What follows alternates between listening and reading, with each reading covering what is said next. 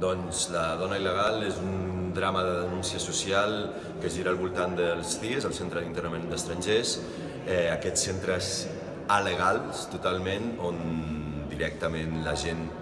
és il·legal pel simple fet de no tenir un paper on hi fiqui el seu nom. Eh, I el meu personatge, l'Oriol Cadenes, és un policia, un subinspector de la Policia Nacional corrupte, eh, del tot i que està basat en diferents casos reals. Eh, de fet, tota la pel·lícula està basada en diferents casos reals que passen avui dia, en 2019, a tota Espanya i a tota Europa, malauradament. Soc l'Àngels Bassas i interpreto el personatge de la Carla, que és una advocada que té doncs, clients importants d'alto standing. És molt amiga, juga al pàdel, les coneixen des de fa molts anys, són col·legues amb el Fernando, que és el protagonista d'aquesta història, no? l'advocat, que interpretat pel Daniel Faraldo,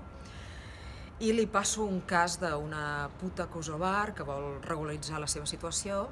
i crec que el Fernando doncs, podrà fer alguna cosa. No et puc explicar massa més perquè potser si no faríem spoiler. És la meva tercera o quarta pel·lícula amb el Ramon, cosa que m'enorgulleix profundament, perquè quan t'arriba a les mans doncs, un guió que a més a més eh, té algunes coses a dir, eh, doncs, eh, i a més a més repeteixes amb el mateix director, per tant ja hi ha una complicitat, Eh, a més, he pogut viure el procés de, dels guions, perquè com que ja hi ha confiança i formo part doncs, d'aquest doncs, equip de, de gent propera al Ramon,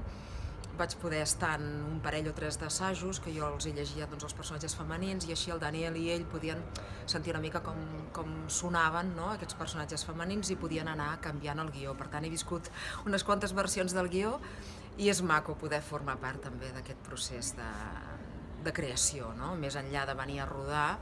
m'agrada, m'agrada aquesta fidelitat amb, que té el Ramon amb els seus actors i poder compartir amb ell eh, i que ell ens hagi fet partíceps d'això, és molt bonic.